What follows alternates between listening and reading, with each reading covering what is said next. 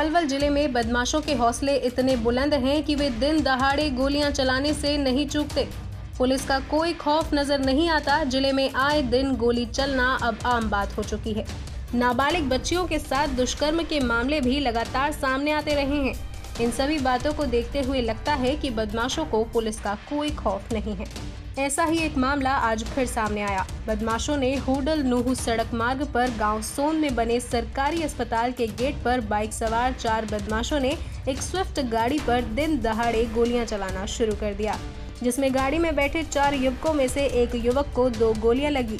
गोली चलने की सूचना मुंडकटी थाना पुलिस को दी गई, लेकिन सूचना के एक घंटे बाद पुलिस मौके पर पहुँची, तब तक घायल के साथी उसे फरीदाबाद लेकर आ चुके थे। घायल के साथी मुकेश ठाकुर ने बताया कि वे गाड़ी में अपने साथी निब्बो पहलवान मुक्का पहलवान और सत्येंद्र के साथ कोरोना टेस्ट कराने के लिए सोन के सरकारी अस्पताल में आए थे। लेकिन जैसे ही उनकी गाड़ी अस्पताल में घुसने लगी तभी दो बाइकों पर चार युवक आए और आते ही उन्होंने गाड़ी पर अंधाधुंध गोलियाँ चलाना शुरू कर दिया जिसमें उनके साथी सत्येंद्र को दो गोलियाँ लगी हैं। हम होटल से अचानक दवाई लेने हॉस्पिटल चेक कराने आ रहे थे कोरोना कहाँ? अचानक दो मोटरसाइकिल आई। और उन्हें आठ दस फायर करिए और सत्येंद्र गाड़ी चला रहा था। मेरा मुद्दा पीछे बैठे थे वो पहलवान आगे बैठा था सत्येंद्र बराबर। अच्छा। तवा तवाताड़ गोली चला के और सत्येंद्र के दो गोली लगी हैं। और ये नहीं पता कौन है अज्ञात लोग हैं।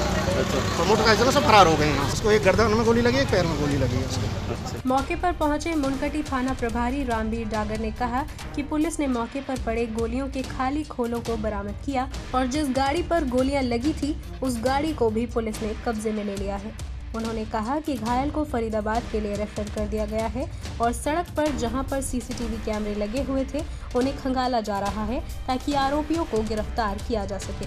भैया अभी ना तो जिसे गोली लगी है वो ना उसके कोई गवाह है मौके का जी। जैसी भी जो भी आगे सामने है सब सर मतलब खोल बरामद कर रहे हैं आपने जो खोल मौके पे जो खोल मिले हैं जो गाड़ी में गोली लग रही है वो मौके से मिले वो हमने ले लिए। अच्छा। आगे हम फुटेज देखते हैं टूल टैक्स पे। अच्छा